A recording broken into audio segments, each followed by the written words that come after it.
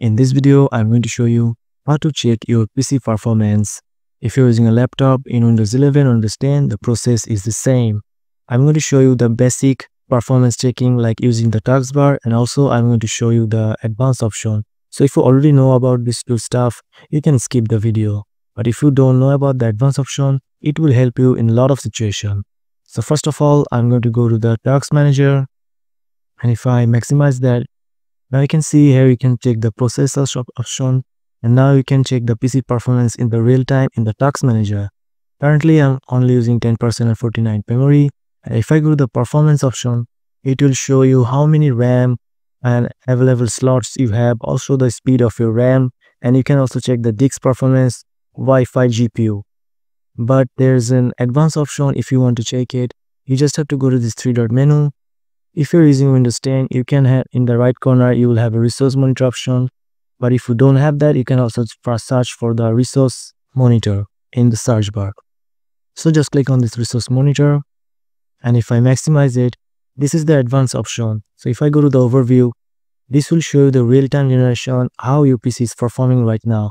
Now, as you can see, these are the usage that I have suspended from my PC currently and now as you can see i am using obs studio to record this video. And this is using how much threads as you can see and only one cpu so that's how we can check how your pc performing in the real time with the overview. Here is the option of disk option. You can check which file it's using right now and also how many kilobyte per second in input and output. And also you can check the network utilization which tab or which service are using your network speed and here's the memory. So this is the overview option. And if i go to the cpu option this will this will show you the details of your cpu performance which is currently using. And if i go to the memory which is a very important details that you want to know if you want to install or using the application and want to check out if you can run it or not. So uh, you can see that hardware reserve option in use modified standby and free.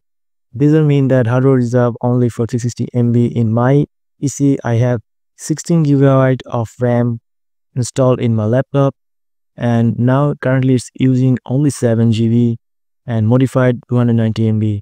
So standby means ready to use if you need and free is 4 GB. So we can easily say that I have 16 GB and now it currently using only 7 GB and free is more than 7 GB or available is 8 GB. So this is a very important things to see for your PC performance and speed. You can also go to the disk option, check the disk option if you understand if you the disk activity. And also you can go to the network option, which will be very helpful if you understand the network activity of your PC. You can check the network activity like this. You can check TCP connection and also listening ports there. So that's it guys. This is how you can check your PC performance in real time with this simple feature in Windows 10 or Windows 11. So if you found this video helpful and learn a new thing, please subscribe and thank you for watching.